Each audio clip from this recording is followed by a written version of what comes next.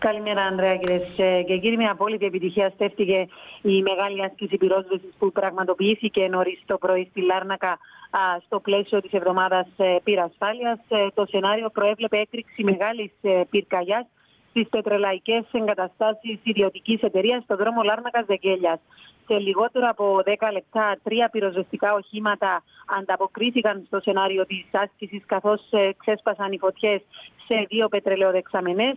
Μέχρι να φτάσουν ε, τα πυροσβεστικά οχήματα, το προσωπικό της ιδιωτικής εταιρείας έθεσε σε λειτουργία το αυτόματο σύστημα πυρόσβεσης ε, των εγκαταστάσεων. Ωστόσο, στη σκηνή κατέφθασαν υπηρεσιακά οχήματα με δεκάδες ε, πυροσβέστες. Να πούμε ότι χρησιμοποιήθηκε ε, και εκτοξευτήρα ε, νερού, το οποίο έκανε στοχευμένες ρήψεις νερού, ενώ πριν από την άσκηση ήχησαν σε χαμηλή ένταση σιρήνες στην περιοχή των δηληστηρίων. Ε, ωστόσο, η πυροσβεστική υπηρεσία είχε προειδοποιήσει νωρίτερα για τις σιρήνες, προκειμένου να μην προκληθεί πανικός στο κοινό. Μάλιστα. Άρα, έχουμε μια άσκηση στη Λάρνα Κατερίνα στο πλαίσιο της εβδομάδας πυρασφάλειας. Ευχαριστούμε πάρα πολύ για την ενημέρωση. Ερχόμαστε